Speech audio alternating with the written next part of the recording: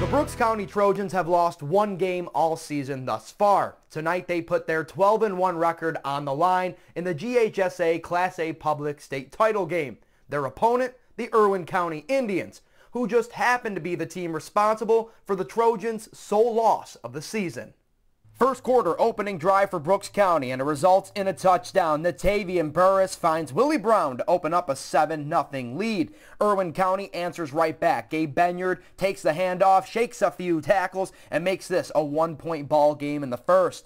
End of the quarter, Indians looking for more, and Benyard again reaches for the pylon, and it's a 13-7 ball game. Late second quarter, Brooks County needs a spark, down 20 to 7, and Omari Arnold provides it. Keeps the feet moving and makes it a 2013 deficit. Out of halftime, the Indians just making too many plays. The pick six goes all the way back to the house, makes it 27-13. Trojans tack on a late score, but no late game heroics tonight. 27-19 would be your final score. Irwin County are back-to-back -back state champions.